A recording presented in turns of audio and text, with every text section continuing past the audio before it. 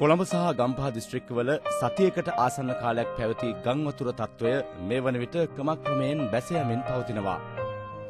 කැලණි ගඟ පිටාර ගැලීමෙන් කොළඹ දිස්ත්‍රික්කයේ කඩුවෙල, කොළොන්නාව, වැල්ලම්පිටිය, හංවැල්ල, සේදවත් යන ප්‍රදේශවල තවමත් අවතැන්ව සිටින සංඛ්‍යාව 1,27,727ක්.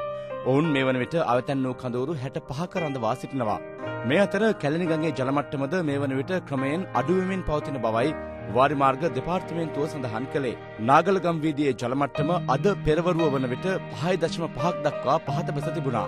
දිස්ත්‍රික්ක 22කට බලපෑ ආපදා තත්ත්වය හේතුවෙන් දිව ඉන පුරා මේ වන විට අවතැන්ව සිටින පුද්ගලයන් සංඛ්‍යාව 1,85,933ක්.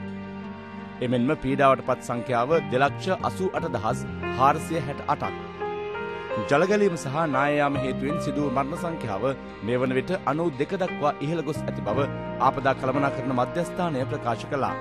කොළඹ දිස්ත්‍රික්කයේ පීඩාවට පත් වූ ජනතාවගේ ජනජීවිතය තවමත් යථාර්ථයට පත්ව නැහැ.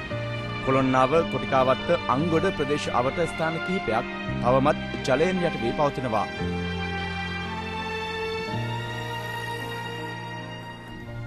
ඊට හේතුව එම ප්‍රදේශ අවට අනවසර ඉදිකිරීම් සහ මීතට මුල්ලේ කුණු කන්දේ බලපෑම බවයි ප්‍රදේශවාසීන් සඳහන් කළේ. දැන් මේ යටවුණු පරණ අවස්ථාව නෙවෙයි මේක. 1989 මේක යට වුණා. හැබැයි එදා මේ මේ හොඳ වතුර ගියේ මේකෙන්. මේ මේකට ප්‍රධානම දේ තමයි කුණුගොඩ. කුණුගොඩේ තියෙන ඔක්කොම ජරාව හොදගෙන තමයි මේ ඇවිල්ලා තියෙන්නේ. ඒතර මස් කඩේ කුකුල් කකුල් ඔක්කොම දාලා මේ ගෙවල් වලට ඔක්කොම ඇවිල්ලා. ඒකින්ද කරුණාකරලා අපි කියන්නේ මේ පියවරක් ගන්න ඕනේ කුණුගොඩට. කුණුගොඩ පේනවනේ හේදිලා එන හැටි කොහොමද කියලා.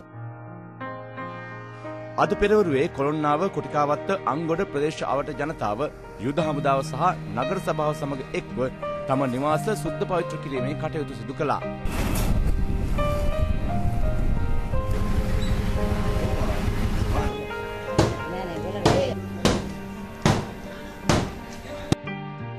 මේ අතර අරනායක රාමසරකන්ද නායයාම හේතුවෙන් පස් අතර සිර වූ සිරුරු ගොඩ ගැනීම සඳහා අද පෙරවරුවේත් යුද හමුදාව සහ විශේෂකාර්ය බලකාය මෙහෙයුම් ආරම්භ කළා.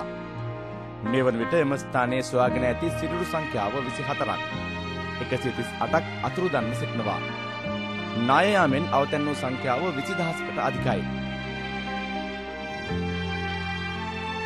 මේ අතර කෑගල්ල දිස්ත්‍රික්කයේ පූර්ණ හා අර්ධ වශයෙන් හානියටපත් නිවාස වෙනුවෙන් නිවාස ඉදිකිරීමට අවශ්‍ය ආරක්ෂිත ඉඩම් හඳුනාගෙන ඒවා කඩිනමින් අත්පත් කර ගැනීමට අවශ්‍ය කටයුතු කරන ලෙස ජනාධිපතිවරයා සබරගම පළාත් මහ ඇමතිවරයාට දැනුම් දී තිබෙනවා.